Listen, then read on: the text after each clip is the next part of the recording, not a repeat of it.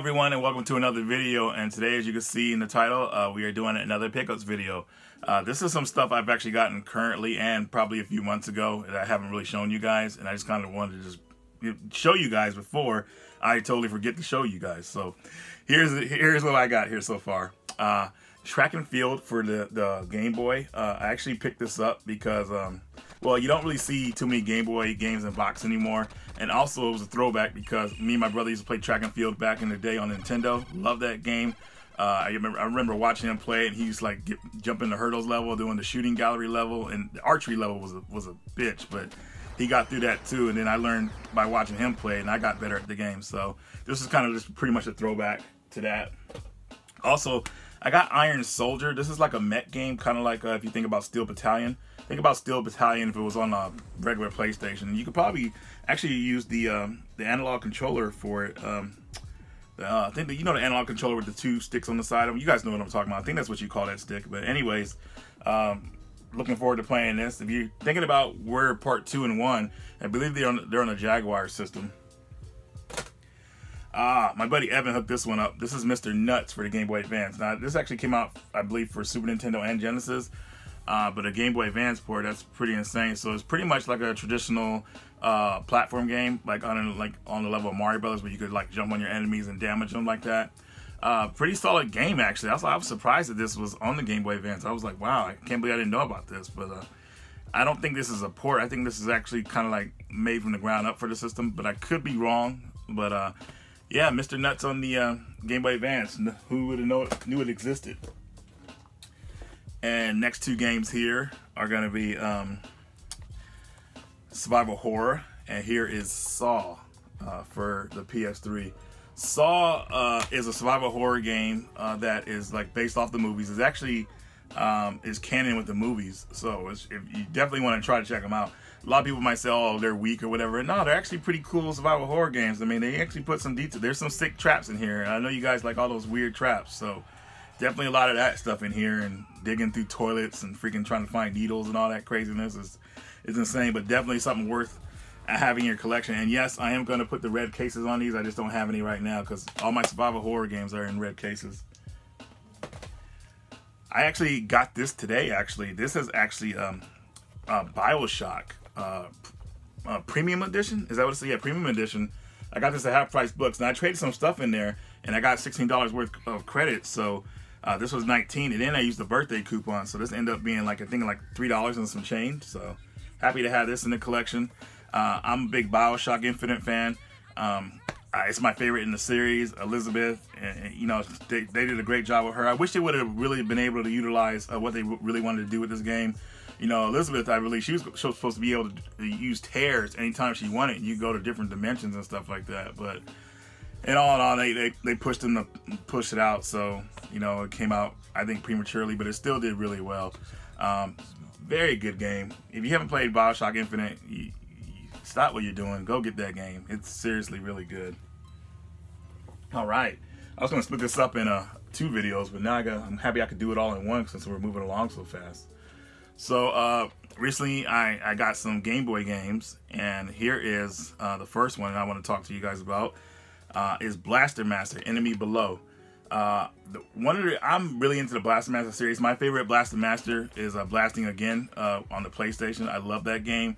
And, and, you know, going back to the older ones, um, I, I, like those too. But they're, they're part uh, one was actually remade on the on the Switch.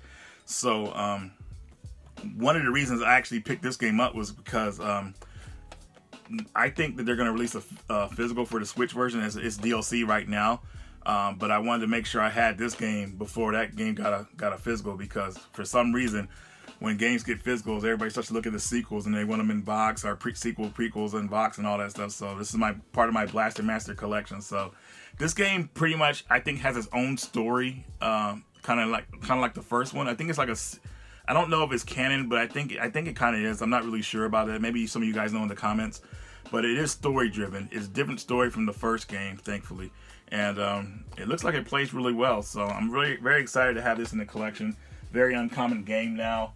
I mean, you can find the um, uh, this loose cart for it uh, easy, but um, um, but finding it in box is uh is pretty is pretty could be expensive and kind of uncommon. and also someone actually hooked me up with the, the cart for it, man. So um, want to I appreciate you, bro. I know you want me to say your name on here, but uh, thanks for hooking that up, man. Appreciate you. The next game here, uh, Aliens Thanatos uh, Encounter. Uh, this is a, I'm gonna say this is, I'm just gonna call this since it's Aliens. I'm gonna call it survival horror.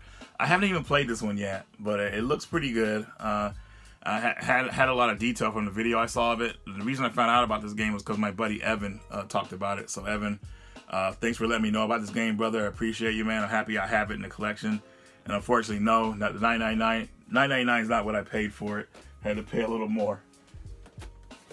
All right, next here. Um, weird game, but a lot of people don't know this exists on the uh, PS4. Uh, this is the Binding of Isaac Rebirth for the PS4. Uh, Binding of Isaac, I was playing this game. It's a fun game, but man, the story religion about the mother and, and how she heard a voice and gosh, that stuff just weirds me out, man. You guys know what I'm talking about. But other than that, it's a solid game. Uh, kind of like a gallery adventure game. I kind of well, not really. it plays like a Zelda. It plays like a dungeon crawler, but like on a level of Zelda in a way. that makes any sense. So if you like Zelda games, you'll definitely like this um, for the dungeon part at least. Uh, Binding of Isaac.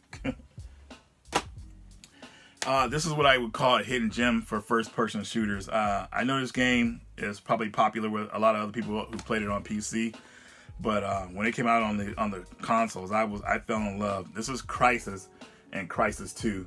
These games are amazing, guys. You must if you haven't played Crysis, man, I can't believe this game hasn't It's not.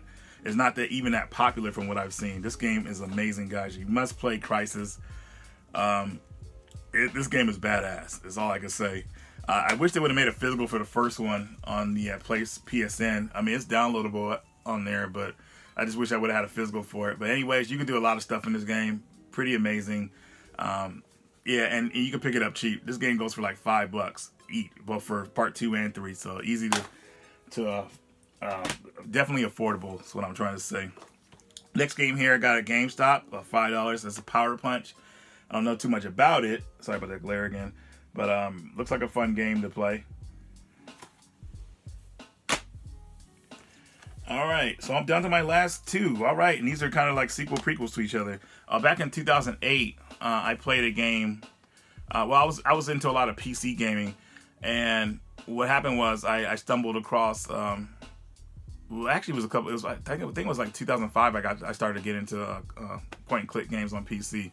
I got the longest journey, and I played the hell out of the game and loved it. And ever since, well, before that, I played point and click too, but I got back into them during that time.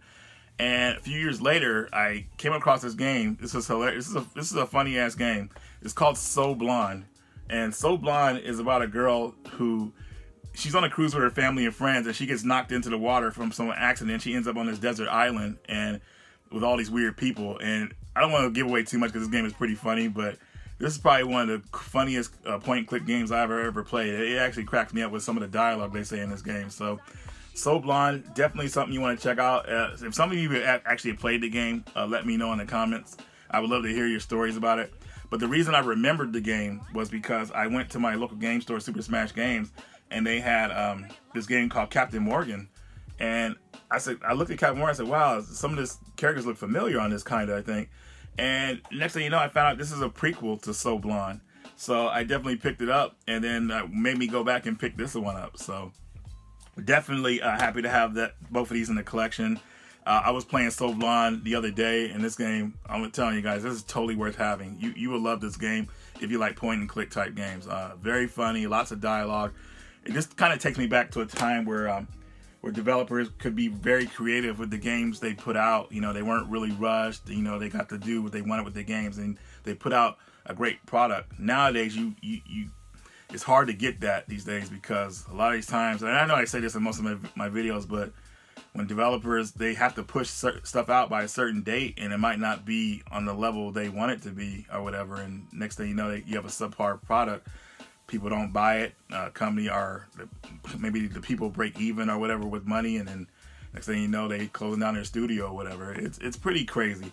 That's why I can always go back to those the, the other previous generations, and then you can just see a lot more. I mean, just a lot of the games they were putting out back then were just I don't know, just had a lot of love in them. Is what I'm trying to say. But, anyways, guys, uh, that that's my pickups. Uh, uh, for this video. Hope you guys enjoyed it. Uh, Radical Reggie, and I will see you later.